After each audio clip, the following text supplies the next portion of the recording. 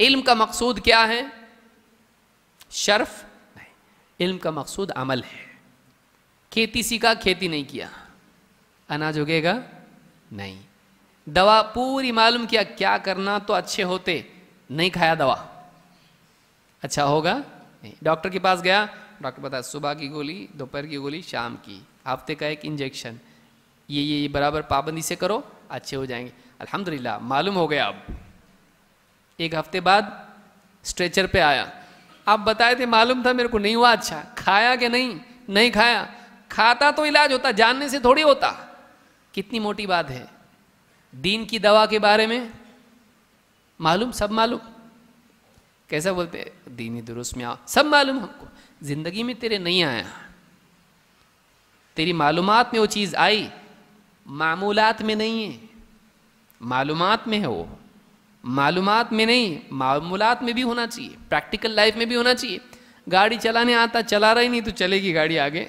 نہیں، آدمی کو چاہیے کہ عمل بھی کرے۔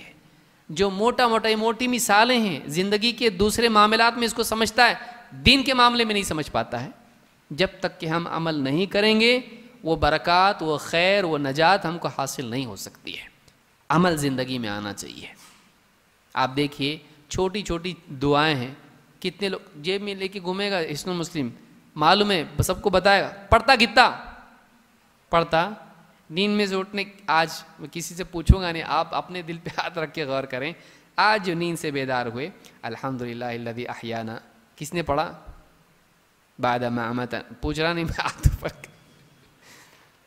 پڑھنا چاہیے۔ کھانے کے بعد کی دعائیں، مسجد میں داخل ہو رہا ہے۔ یہ چھوٹی چھوٹی چیزیں ہیں جو بہت آسان ہیں۔ لیکن آدمی کرتا ہے؟ نہیں۔ کب کریں گے؟ کوئی شادی کے بعد، کوئی ریٹائر ہونے کے بعد؟ ہاں کوئی مرنے کے بعد؟ کب پڑھیں گے اس کو؟ جو اعمال ہماری زندگی میں ہیں، گھر پہ جا کے سلام کرنا، گھر میں فلاں وقت میں سنن کا اہتمام، فرائض کا اہتمام، دعا کا اہتمام، تلاوت کا اہتمام، جو پچھلے رمضان میں پڑھے تھے، تین پارے۔ اس کے بعد سے جو چھوڑے ہیں، اب تک، اب اگلے رمضان کا انتظار ہے کتنا قرآن پڑھتے ہیں روزانہ ہم؟ سوچئے، اللہ کا کلام ہے۔ اور پھر ہم قرآن و حدیث والے، جو قرآن ہی نہیں پڑھتے، یہ قرآن و حدیث والے ہیں جن کی سینے سے جنہوں نے قرآن کو لگایا، کہاں ہیں؟ تجوید سے پڑھنے تک نہیں آتا ہے۔ سیکھیں۔ زندگی میں عمل آنا چاہیے۔